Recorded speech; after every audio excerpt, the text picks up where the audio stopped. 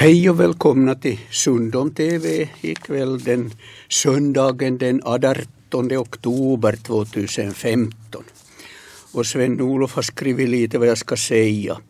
Att eh, nu har vi brist på hallå, vi har haft unga nätta flickor nu ett tag men ikväll har, en, har vi en gammal gubbe i rutan. Så, så, kan det, så illa kan det gå.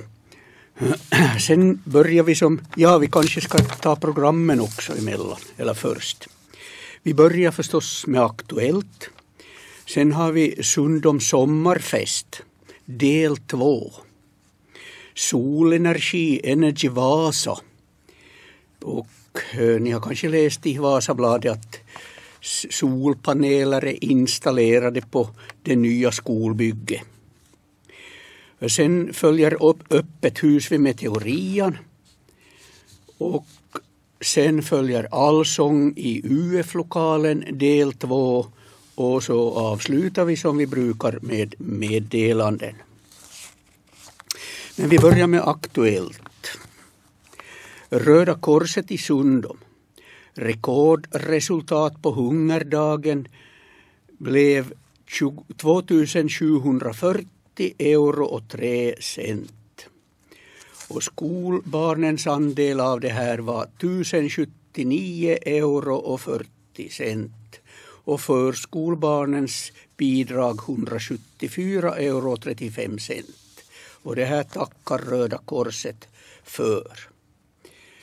Eh, Både för, och de tackar både för ert deltagande i hunger, Hungerdagen-insamlingen och för engagemang och hjälpande händer, händer på Röda Korsets asylboenden.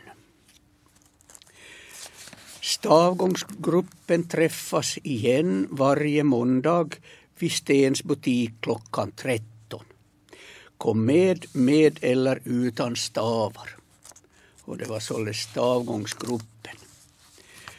Eh, Sundom pensionärsklubb utför, utfär till Punaisen tuvan viinitila som, eh, dit vi far den 22 oktober och bussen startar från Mygrundsvägen klockan 9.30 och kör traditionellt via Näset, Skarpkilen och Solv. Sundom UF meddelar den 25 oktober eh, klockan 14.30 till 17 Söndans med Reply.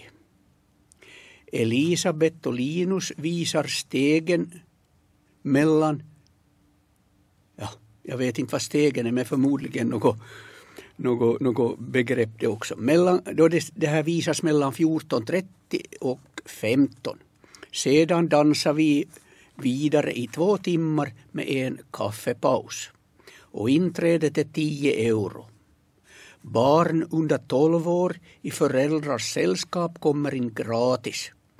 Kaffe ingår i priset. Välkommen. Sundom Martaförening RF. Vi träffas måndag 26 10 2015 klockan 18 i Sundom prästgård. Eh, kvällen, eh, kvällen gästas av Karina Engström. Hon kommer att före, föreläsa om hur man kan må bättre med hjälp av hur man tänker. Kvällen är öppen för alla. Kaffe med dopp 5 euro. Föreningens sekreterare hälsa, äh, eh, lämnade där meddelande. Och Sundom pensionärsklubb Arbis dragträff tisdag 27 tionde klockan 11 i UF-lokalen. Trey Howard har be berättar om amish-folket som han besökt i USA. De kör fortfarande med häst och vagn och undviker allt som har med teknologi att göra. Det var alltså tisdag 27 tionde. Och nu ska vi börja med programmen och det första blir nu Sundom sommarfest del 2. Den första delen visade vi redan här i höst. Och det här var, eh, filmades den 16 augusti. Så där startar vi. Den.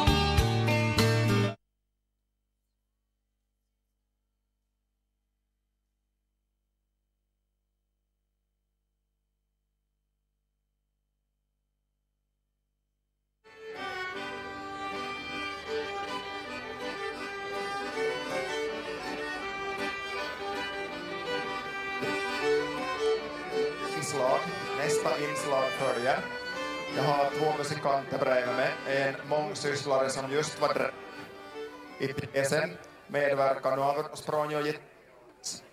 Och nu tänkte jag fråga, nu får ni berätta, vem gick? Ja, jag heter Erik Leinonen och kallas Eki och bor på Käldasbackan i Arizona.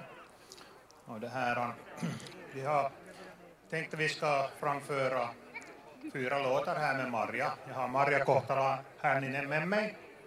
Och eh, hon spelar fiol och jag spelar gitarr och, och det här. Hon bor riktigt bredvid mig så det passar bra till samarbete. Och jag ställer samma fråga som ställde de två förra musikanterna. Att har ni uppträtt mycket i lag eller är nytt för idag? Ja.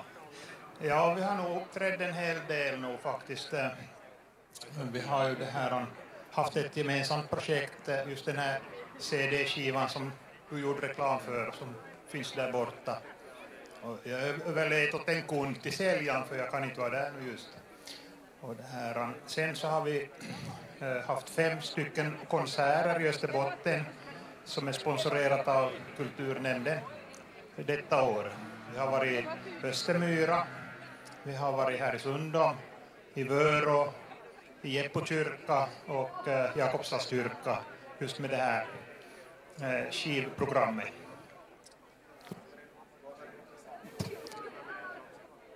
Jag ska fråga Marja ännu. Är du... Är det här en... Jag är mattelärare, så det här är hobby. Intressant. Du tappade jag mig mellan varven, men...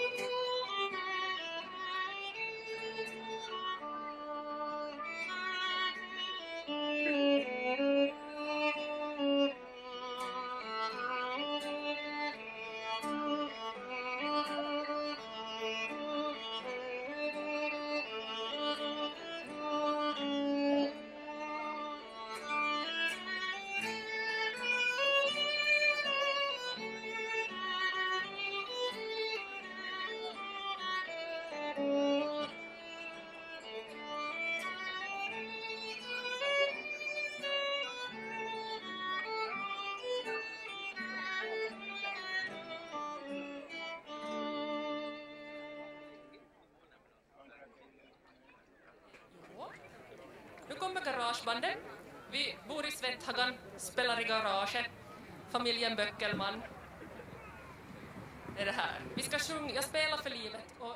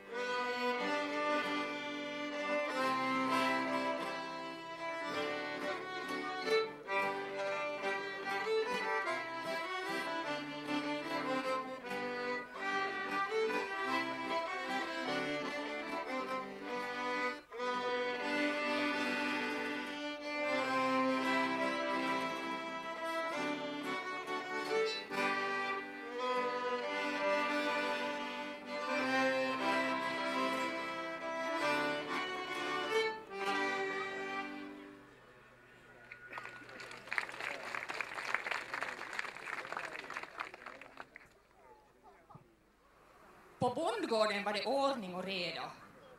Med bondepraktikan, Alnacko, att hjälpa och leda. Allt skulle skötas en viss tid och en viss dag. Före trettondag och Mickelsmäss och vem vet vad. På våren skulle kreaturens gödsel bredas ut och åkrarna harvas för att sås till slut med råg och med havre och korn och fisk och potatis i jord. Både serpotatis man sådde för hand. Då sådden var klar skulle man putsa och kära, stöttingar och kärrhjul och mycket mera.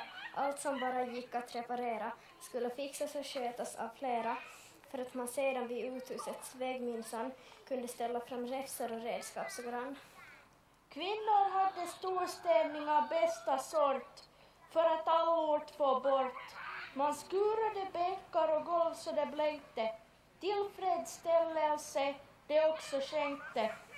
Att ha sängkläder tvättade, manglade och släta och fönstren slimpapper blöta och bortnötta med spetsgardiner blonnade och stärkta, vackert upphängda av strykjärn märkta. Traditionen med fester av olika slag gav omväxling åt vanlig vardagslag.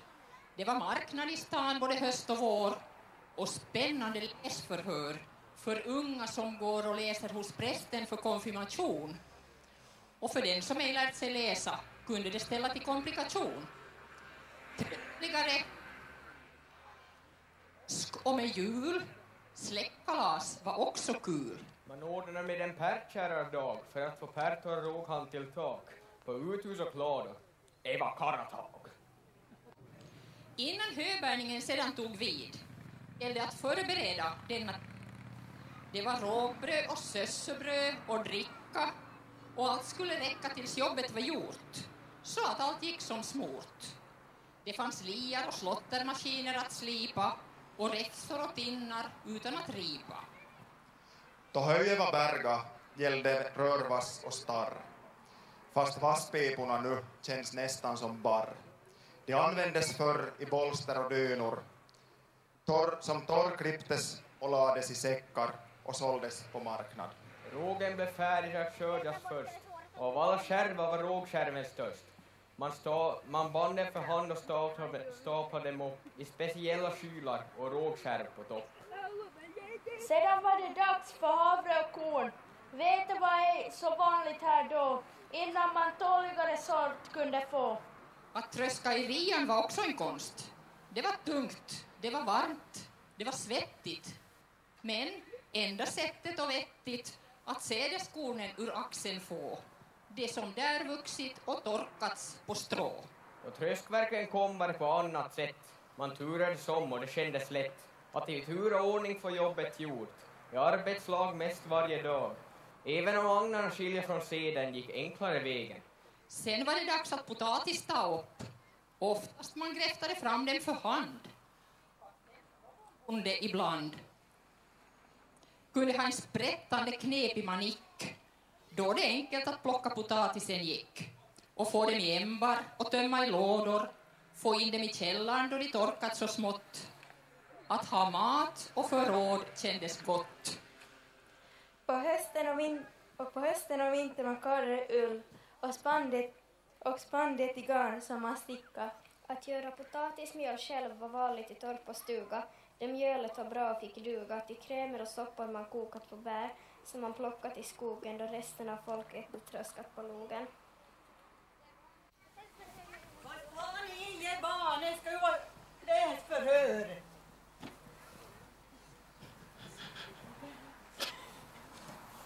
Lageron. Läsförhör eller husförhör hade ursprungligen utvecklats ur prästerskapets skyldighet att hålla husförhör. Föräldrarna bonden, tjänstefolket och de övriga som arbetar på gården och barn i läskunnighetsålder, de skulle samlas i läsekretsar. Och då hade ju också staten möjlighet att kontrollera att vad, vad, vad kunde man lära ut när kyrkan hade hand om det där och förhörde så var det enklare att kontrollera, för det kan hända att allting inte var så riktigt Ja, man ville se vad, vad som lärdes ut. Och innan man införde läroplikt så hade läsförhören en betydande folkbildande roll. För att människorna lärde sig läsa. Och så var det en del av den kristna fostran. Kyrkans uppgift att ta hand om folkbokföringen gjorde att man vid läsförhören också kontrollerade att uppgifterna i kyrkböckerna var korrekt uppdaterade. Och så hände förstås en del hyss i samband med läsförhören. Huka er, för nu blir det läsförhör. Vi inleder läsförhöret här i Yttersundom by i Faderns och Sonens och den heliga Andens namn. Och vi börjar med att sjunga en psalm som vi alltid brukar.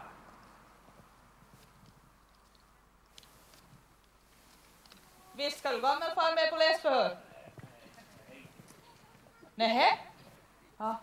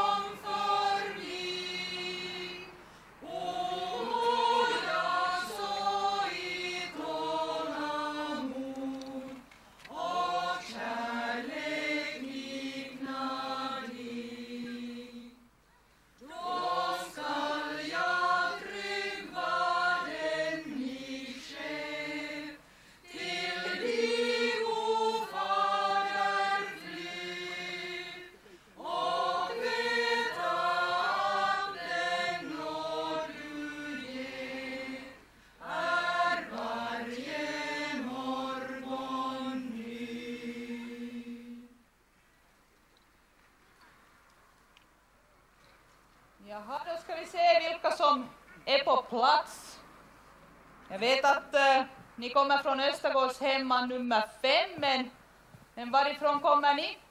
Alltså, allting du säger är Backholmas hemma. Precis. Och, och visst är det så att ni har nyligen fått ett barn till i familjen? Jo, jo, en, en väldigt kort och liten pojke. Kanske det skulle vara bra möjlighet nu att, att låta honom bli döpt när jag en gång är här. Det är ju ganska lång väg från Solv.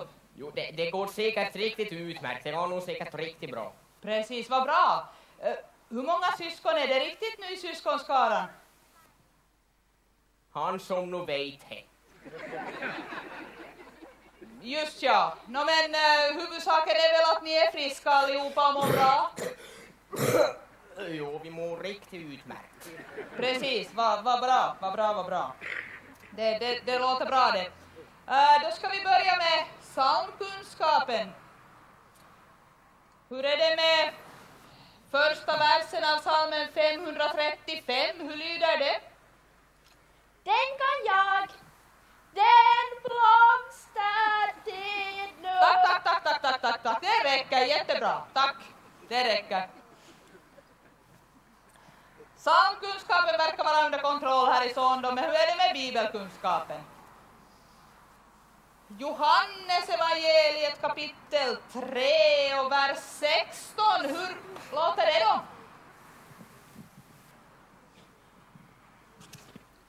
Ja, Johannes 3.16. Ja.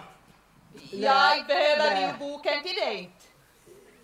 Hur skulle jag kunna veta? Nå, du ska ju veta. Det är ju läsförhör. Ja.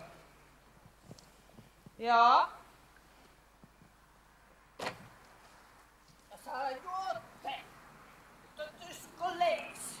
Du ska inte vara ut halva natten och slarva. Ja, ja, nu har jag, jag har nog försökt. Nej, Ja, armade du.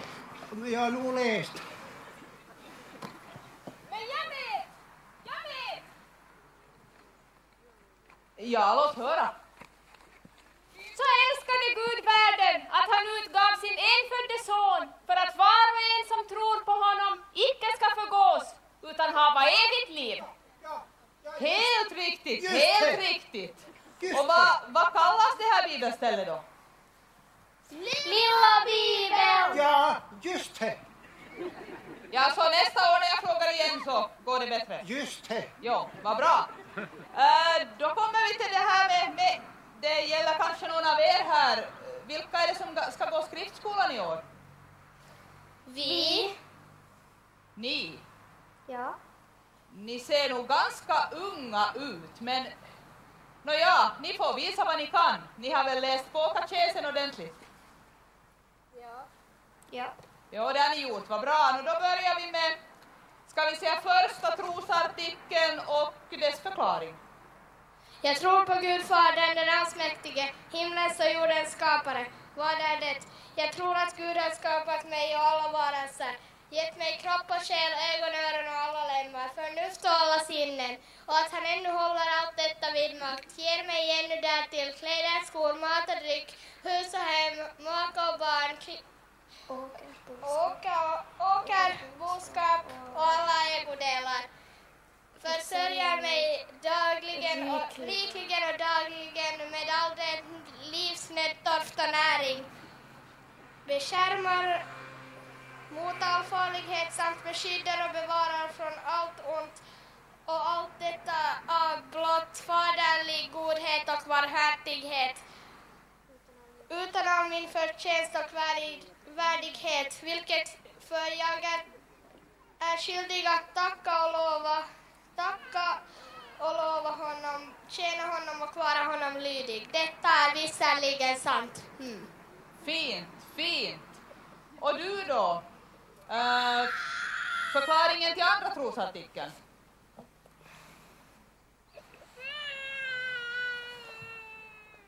Ja, låt höra bara.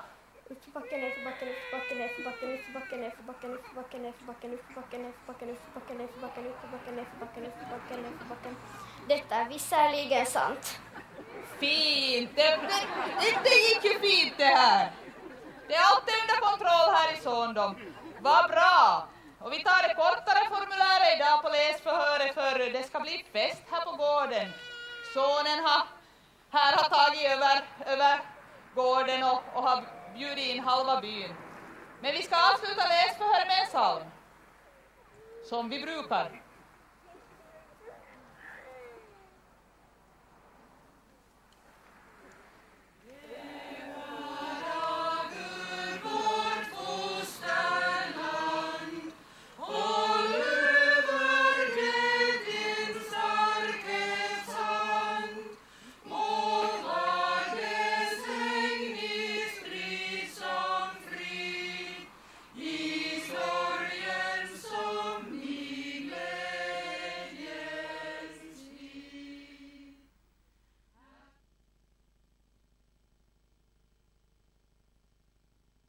Vasa har ju fått namn om sig att vara en liten industri eller eh, energistad. Vi sysslar med energiprojekt här. Och eh, Sundom är också med i, i den här samma eh, satsningen. Och nu ska vi se ett program om solenergi. Energy Vasa. Och det här är solpaneler som har blivit installerade Eh, här i Sundom på ny, nybyggda skolans tak. Och det, det hölls ett möte den 22 september och här ser vi lite inslag.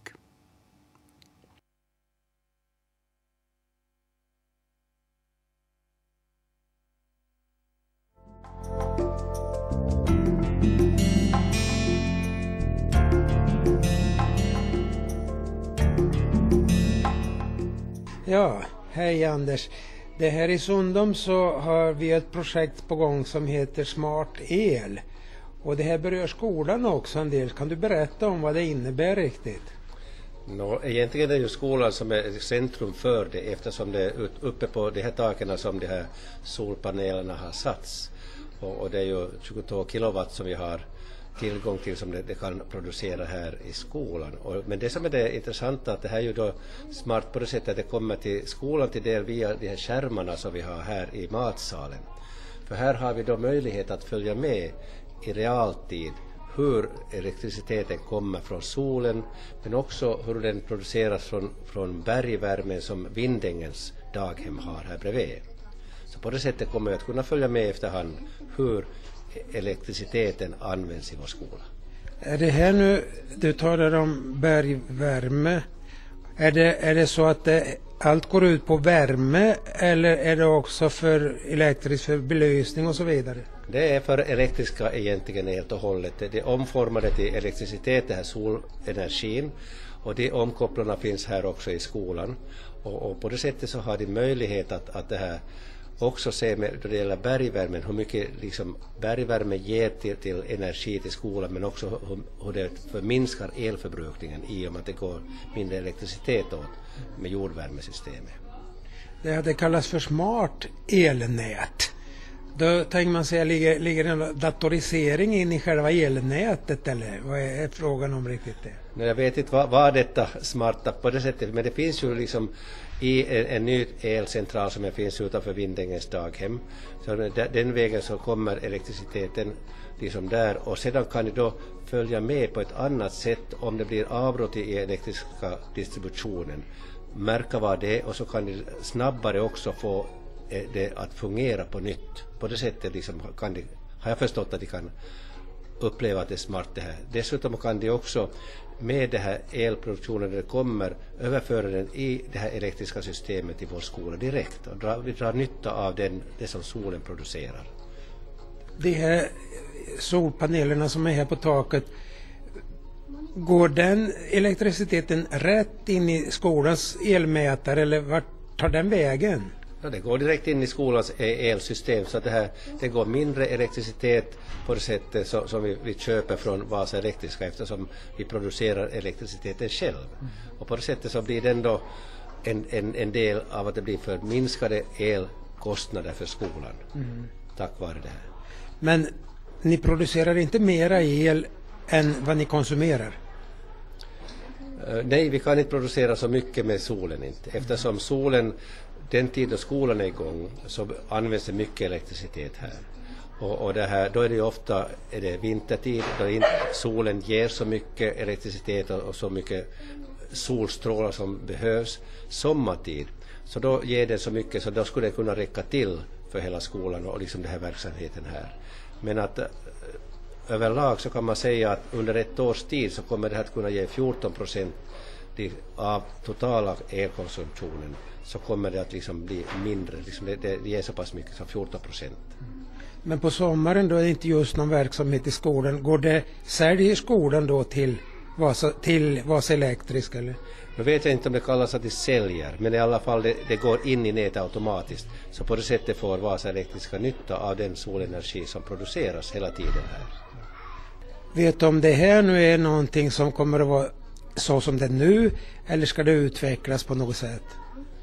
No, I det här skedet så, så kommer det här att fortsätta på det här sättet. Solen det kan, den ger den energi den ger och det kommer att producera till, till Vasa Elektriska och kommer dit i elnätet. Det som vi har som förbättringar och förändringar på gång, den här skärmen så är bara en, en, en sorts prototyp på vad som kommer att visas. Det kommer att, att visa också vindkraften att det kommer också att kopplas till det här systemet så att vi kommer också att se då vindkraften är igång hur mycket elektricitet den ger. Är det det här Merventos vindmöllan eller? Det är Merventos vindmölla som vi då kan liksom följa med.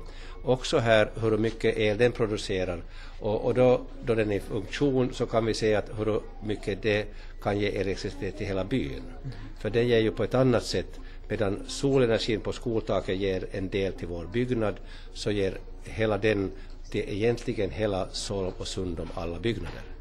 Det är så pass stor skillnad i det här vad den kan ge. Hörru, ska du förklara lite, en, riktigt ordentligt vad det, här, vad det är för någon som, som visas på den här Ja, de här rörliga bilderna är egentligen eh, lite information om, om det här energiklustret och liksom vad, vad som är på gång och det för att det, vi ska komma att kunna byta filmer hit också eget produktion om vi vill och sätta filmer här. Att det här är inte liksom givet att det måste se ut på det här sättet. Så det är filmen. De här bilderna här är nu för att eleverna ska få se lite hur det, här, hur det ser ut uppe på taket för att det här, de kan ju inte gå upp på taket och fotografera. Jag var själv igår och fotograferade de här bilderna, en del av dem.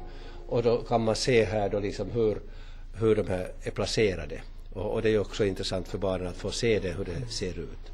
Sedan de här diagrammen här, så det, det belyser då med solen, det är solenergin som då kommer från vindängen och från biblioteket och, och det här skolans tak.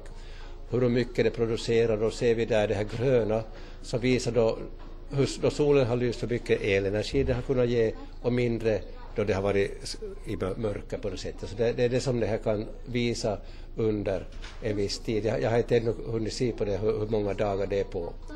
Men den, sen ska det jämföras med hur mycket till exempel en, en, en television behöver Mm. elektricitet och, och, på det sättet så det ska bli åskådligt så mycket som möjligt för barnen. Det här är nog ändå en prototyp så det kommer att tror jag, bli ännu bättre sedan när de får det klart så att man barnen kan se att hur stor del av skolbyggnaden kommer att få elektricitet av solen. Det här nedre diagrammet så det visar då igen jordvärmen det som, som kommer till, till vindängen och det, den röda färgen visar då hur mycket värme vi får från jorden men blått visar hur mycket el vi måste köpa för att få värmen från jorden. Och då är det bättre att ha mera rött än blått. Att det liksom på det sättet så är det till fördel att det kommer mera rött än mera blått och det är liksom det som gör att det blir en billigare variant än eh, att ha enbart elektricitet. Nu för att förstå den här skärmen, kommer ni ha undervisning här? Har eleverna här i det här rummet eller hur kommer ni att gå vidare med att eh, så eleverna får nytta av den här skärmen? Till att börja med så blir nog den här skärmen på det sättet att, att lärarna i klasserna lite berättar om vad, vad, som finns här och så får eleverna, då de går förbi här så får de titta lite på dem och se att liksom hur det förändras. Till exempel ska det vara på det sättet med solenergin att om det är soligt, om, om vi har på lamporna i gymnastiksalen så går det mera elektricitet och tar vi bort den så ska man märka att det liksom behövs mindre som behövs till solenergi. På samma sätt kökets användning kommer också att lägga, att lägga märke till här. Och det är det här som kanske är det intressanta för eleverna, att se skillnader på att har vi bort elektriska och, och, och det här med att solen då ger elektriska i alla mm. fall. Och det här är egentligen väl också för att de ska lära sig energihushållning. Mm. Sedan då det gäller undervisningen så, så kan vi också ha nytta av det. Nu, nu heter det ännu fysik kemi och jag har ju undervisat om elproduktion och sånt i femman, speciellt i fjol och, och det, det är till femmans kurs. Men att då kan man också ta det eh, nästa, från och med nästa år, 2016, så blir det en ny läroplan och det kallas medborgarfärdighet. Mm. Och då blir det på det sättet liksom inbakat i det så kommer man också att kunna ta undervisning kring energifrågorna. För att det är ju viktiga saker och speciellt här i, i Vasa och i Sundå så behöver vi ta det eftersom vi har så mycket sånt som vi kan liksom visa på och förklara och förtydliga. Idag var det ju en föreläsning här på skolan som tyvärr bara var på finska. Att, eh, kommer det att göras något mera för att eh, folk i byn också ska få reda på det vad som är på gång? Eh, no, det här, vi har inte på det sättet hunnit planera så långt än. Eftersom det här, jag fick reda på liksom att det här är på gång först i, i somras i, i samband med ungefär vid midsommartiden. Och att det skulle byggas hit de här solpanelerna redan efter så vi ser att hade varit här så då blev det gjort. Och, och sedan har vi haft möten och sen först här i, i, i augusti-september och, och, där har jag fått lite mera information och, och det, här, det har gått så pass snabbt det här projektet framåt. Så att jag har inte riktigt hunnit med och jag har inte hunnit informera lärarna om det. Utan det här är nog en sak som vi kommer att, att informera om efterhand som det, det fortgår. Och, och sedan tror jag nog att det kan bli information ut i byn också på ett annat sätt sedan då vi vet mera vad vi kan få ut av de här skärmarna och ut av det här. Inte gör ni några experiment annars där med eleverna med sådana här grejer, solceller och, och sånt eller har ni sånt in i, i undervisningen?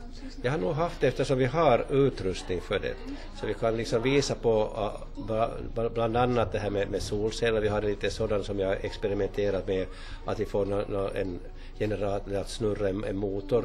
Vi har också kunnat visa på att liksom det här kopplingen mellan generator och, och, och motor att det här via generator får man elektricitet men man måste få det att snurra runt för att det ska bli elektricitet och, och det här jag försöker förevisa för barnen också. Vi har små det här liksom, hur det behövs, då man ska ha generator att gå runt så behövs det mera kraft. Mm. Att, att det, har man en snurra till det så går det hur lätt som helst. Och det här, lite på att, att det här vind, vindkraften också, att, att, trots att det blåser så liksom det, det här uh, snurring, det här rörelsen i sig så omformas då, men att det, det behövs mycket kraft för att det ska ge elektricitet.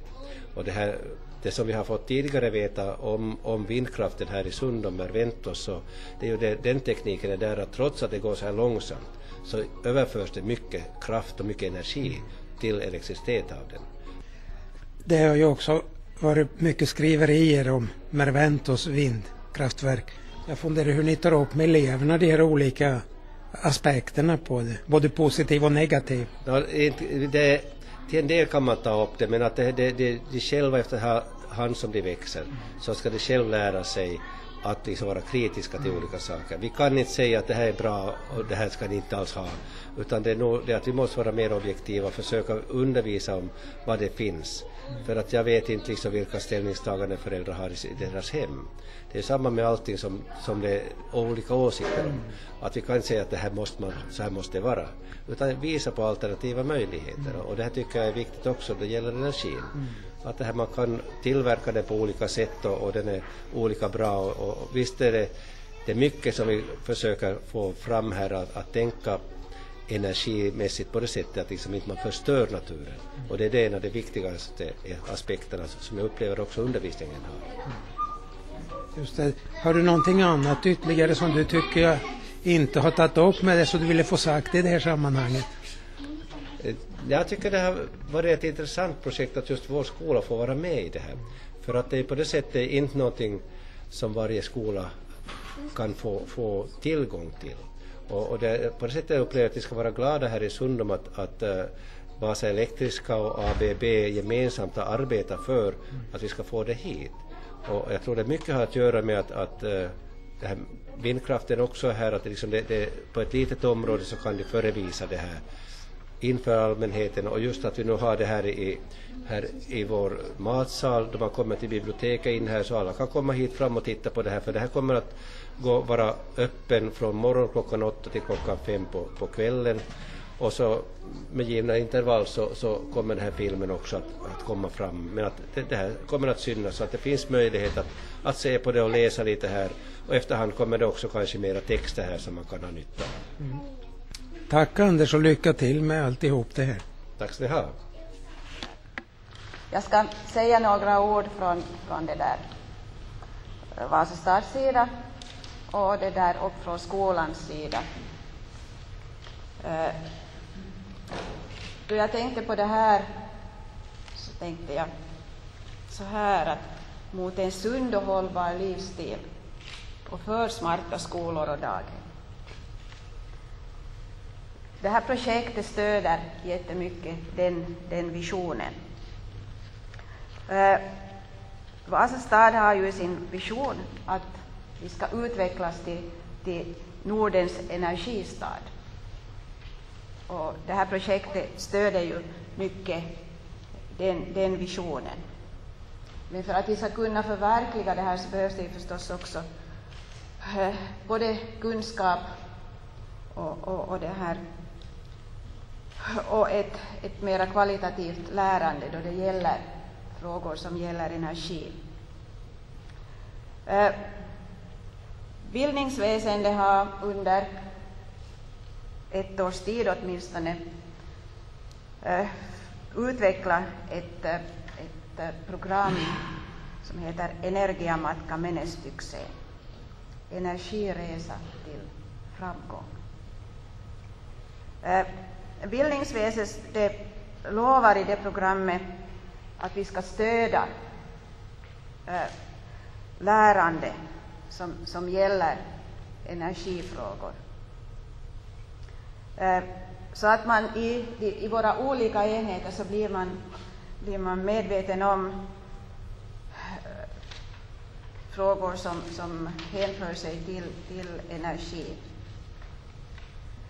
Men samtidigt också att, att eh, de som finns i, i våra enheter, både inom småbarnspedagogiken och inom, inom skolan, att de får de, de färdigheter och kunskaper som behövs i, i det här i framtiden. Och, och speciellt är vi ju förstås också intresserade av att de kommer att, att så småningom få sin utkomst från energiklustret. Det är ett mycket fint fint projekt det här att man kan samarbeta med, med det här näringslivet på det här sättet och, och det här utveck, utveckla någonting. Eh, då den här skolan invigdes så talar man om en skola mitt i byn. Och, och det här tycker jag stöder den visionen som, som fanns och som säkert finns ännu. För att, att det utvecklas ett sådant här projekt här i, i den här stadsdelen, så det påverkar inte bara de som, eleverna som finns här, det påverkar också alla familjer förstås. Det som eleverna lär sig så för de hem. Så det där. Jag tackar för alla de här, de här eh, som har varit med och utvecklat det här och jag hoppas på ett mycket gott samarbete också i, i det här i framtiden.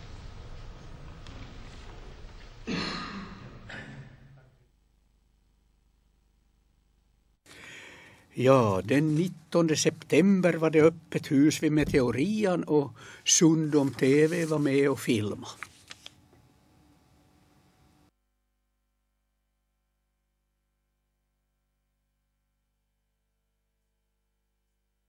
av Mats Andersén som är bördig ifrån eh, Rangsby. Den här boken den handlar om Söderfjärden och Söderfjärdens historia. Vid det här området i Sundom så finns nämligen en mycket gammal meteoritkrater. I lördags då hade man öppet hus vid Meteorian och här kunde man också bekanta sig med astronomi och andra naturupplevelser. Janne, han var också där. Ja, så här ser Söderfjärden ut på en informationstavla. En flygbild som visar den runda formen som skvallrar om att det är frågan om en gammal, en mycket gammal meteoritkrater.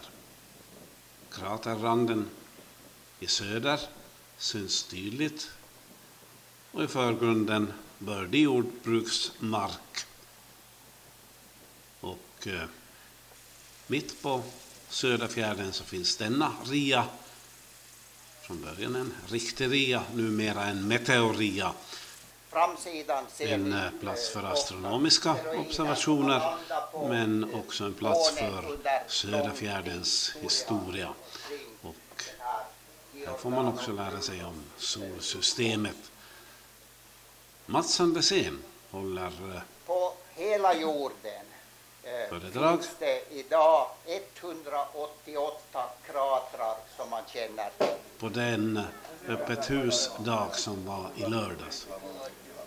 Och bland de 188 kratrarna som man har hittat på jorden hittills så är då eh, Söderfjärden en värdig representant kan man säga. Stor, gammal och eh, märkvärdigt tydlig trots det. Solen 70 centimeter i diameter på denna illustration. Närmaste planeten skulle i samma skala inte vara större än så här. Merkurius och Venus följande i ordningen, inte mycket större den heller.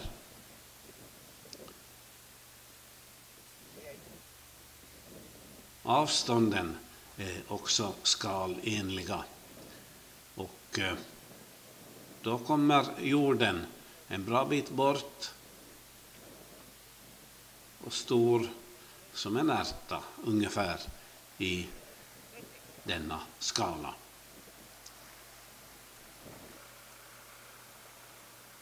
Större än så här är jorden inte i förhållande till, till solen och i förhållande till de avstånd som man kan ana på detta sätt.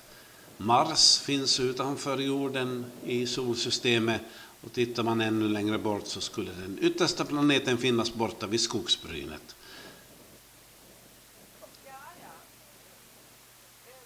Söderfjärden är också tranornas plats. Tusentals tranor rastar på väg söderut. Denna kväll var det kanske 6000 000 tranor som eh, lyfte i skymningen för att eh, söka sig till eh, skärgården för nattvila.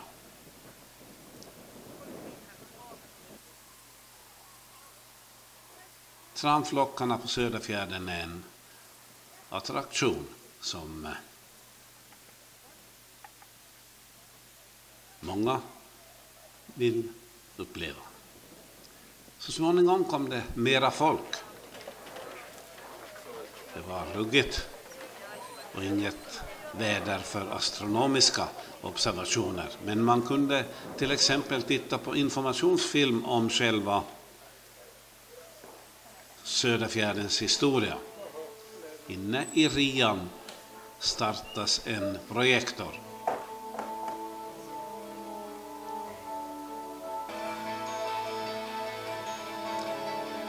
Först bilder från dagens eh, Söderfjärden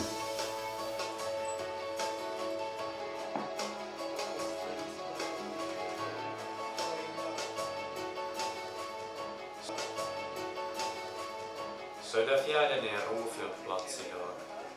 Men platsen ruvar på minnet av en kosmisk katastrof, ett helvetiskt ögonblick då universums urkraft formar detta landskap.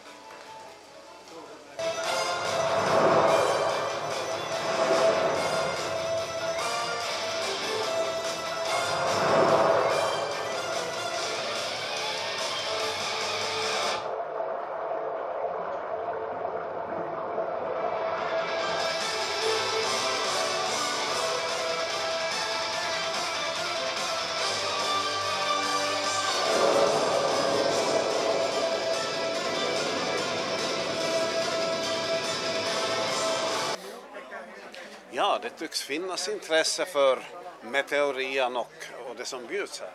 Det gör det definitivt. Jo, att, eh, nu är det ju lite regnigt och så men trots det så eh, är nog flera hundra personer här nu redan vid det här laget och, och är intresserade av det som vi bjuder ut här ikväll. Eh, Kan du berätta lite om bakgrunden till denna plats? Du har varit med från början antar jag? Jo, det är alltså vi är mitt ute på Söderfjärden här nu och Söderfjärden är ju då en stor meteoritkrater 6 kilometer tvärs över och vi är då här i mitten nu och eh, den här, vid meteorian, alltså den här eh, utställningen och astronomiska observatoriet som finns här i den här gamla RIE-byggnaden. Och det är då utåt ser ju Rian ut som en eh, vanlig normal ria som har stått på Söderfjärden någon gång i tiden. Men inne så finns det då eh, på utställningen en eh, massa saker, film och, och annat som berättar om eh, Söderfjärdens unika historia. Och i observatoriet finns då ett fint teleskop så att man kan se långt ut i världsrymden. Men ikväll så är det tyvärr lite för mulet för att kunna då använda teleskopet. Men vi ska se, det, det, det, det finns några små glipor i eh, molnen här. I allmänhet så där när det är fint väder så brukar folk vara här och, och, och just med, med eh, teleskopen. Jo, här är eh, mycket människor i allmänhet och det är klart att det är väderberoende så att eh, när det är klart väder så, så det ju, finns det ju möjligheter att, att då se både stjärnor och eh, planeter, månens kratrar och så vidare. Om eh, Söderfjärden och dess spännande historia har du skrivit en bok. Ja, jag har skrivit en bok som heter När himlen faller ner. Och det är då en, en bok som är eh, delvis, eh, eller den är faktabaserad men sen finns det då en del eh, fiktiva fiction avsnitt också. Det är tidsresor tillbaka till den tid när Söderfjärden uppkom för mera än 500 miljoner år sedan. Och eh, då fanns inte Söderfjärden här på denna breddgrad, 62 breddgraden utan Ja, 63 är vi riktigt här, ja. Närpar sig på 62. Ja. Eh, nej, vi var eh, långt söderut, söder om ekvatorn, ungefär där Nya Zeeland är idag. Så att vi har vandrat norrut med en hastighet av ungefär 3 centimeter per år. flera kilometer stor krater alltså. Och eh, den har också ett djup som inte syns på grund av sedimentavlagringar genom århundraden. Jo, allra överst här så är det då ett tjockt lager med lera och sen nere så finns det då Eh, eh, sandsten och lersten som är ihoppackade av gamla sediment som har lagrats här ända ner till över 300 meter. Så att den här kratergropen har varit rejält 300 meter djup då när eh, nedslaget inträffade för mer, mer än 500 miljoner år sedan. Hur har mottagandet varit till din bok När himlen faller ner? Jag tycker att det har varit, jag har fått en hel del eh, läsarreaktioner som har varit överraskande positiva och jag har också under de senaste dagarna noterat att eh, den har börjat säljas också i Sverige. Jag höll ett föredrag här om, om, om den här historien och folk verkar intresserade nog. Ja, det var de nog och det är ju eh, här är ju en, en tvåspråkig tillställning och min föreläsning var ju då på svenska förstås men eh, det är en del här nu som efteråt har kommit och frågat också på, som, som har finska som modersmål som är intresserade av, av just den här boken. Ja, det tycks som att folk är intresserade också av, av eh, vetenskapliga, populärvetenskapliga saker även om, om vi ofta säger att vi lever i en, en ytlig tid. Det gör vi ju förstås men eh, jag tror att, att man eh, söker spänning i olika saker och, och eh, intressanta saker. Och det, jag tycker att naturen och vår historia och vår omgivning bjuder på massor med spänning och speciellt på ett sånt här ställe där det en gång i tiden har varit Eh, väldigt hett om öronen när en klimp och en stor eh, bergsklimp slog ner här 300 meter i diameter. Så det finns eh, massor med historia att berätta som eh, kan fånga både ung och gammal.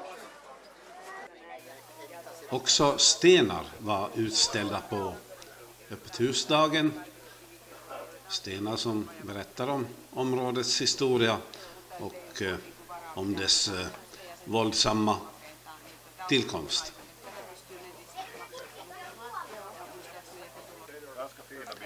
Och på andra våningen ett nytt fint teleskop.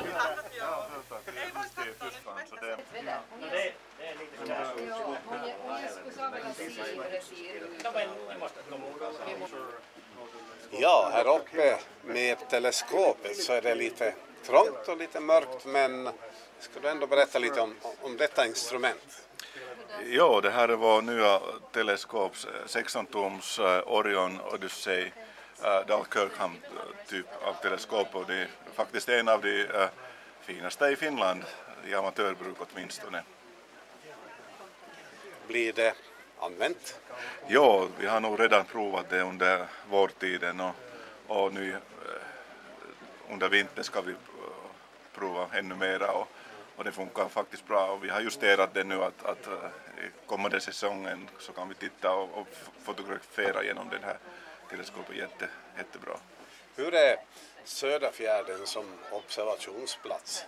No, det är nog säkert en av de bästa i Finland. Att man, utsikten är ju jättebra överallt. Att det är inte någon uh, skuggande skog här, här i mitten alltså och det här uh, också det här ljus uh,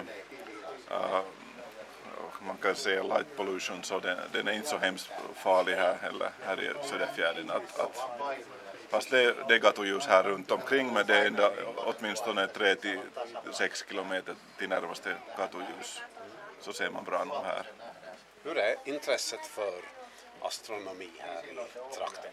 Ja, det är nog ganska, ganska stort att, att vi har ju eh, nästan 150 medlemmar och, och, och det här, nu har vi öppet hus här så har vi säkert ett par hundra besökare.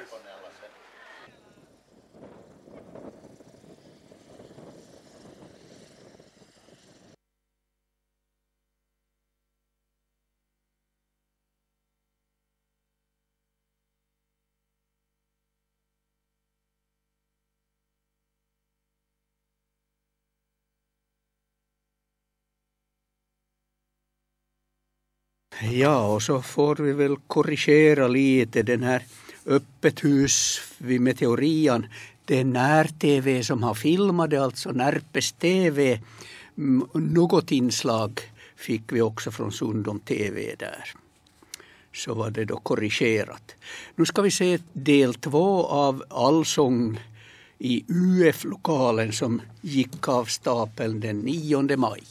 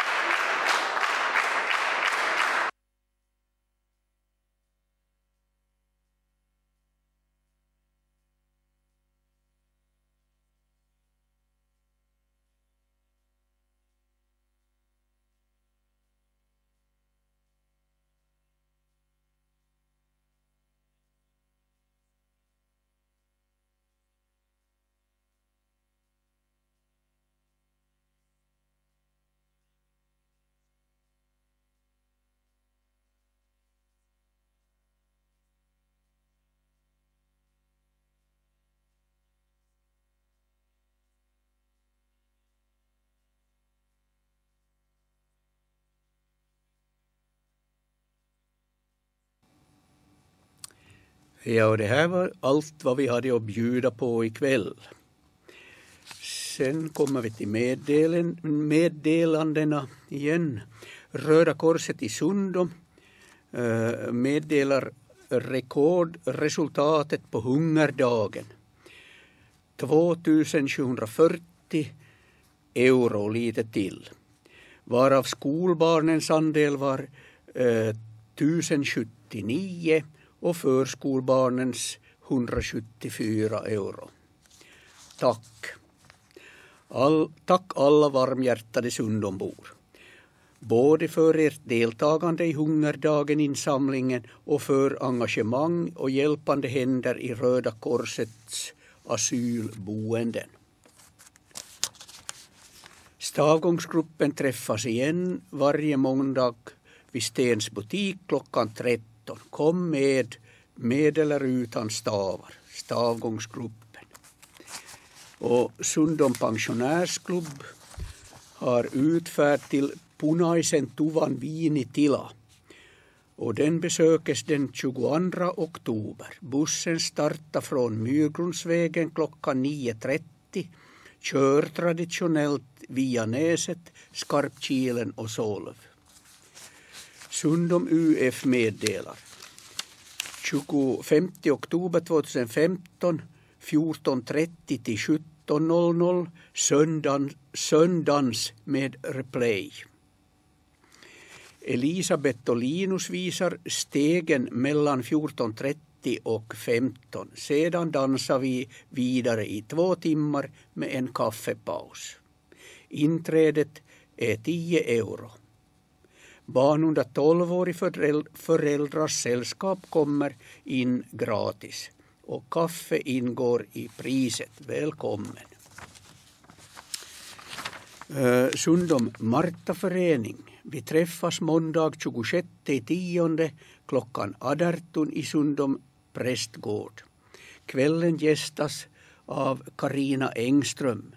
Hon kommer att föreläsa om hur du kan må bättre med hjälp av hur du tänker.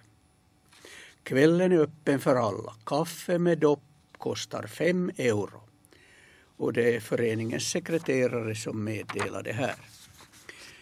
Eh, Sundom pensionärsklubb Arbetsdagträff tisdag 27 10 2015 klockan 11 i UF-lokalen. Trey Howard berättar om amish-folket som han besökt i USA. Och det här, det här folket kör fortfarande med häst och vagn och undviker allt som har med teknologi att göra. Och repris av kvällens sändning ser, ser ni imorgon kväll klockan 19. Tack för ikväll och på Hörande och återseende den första november.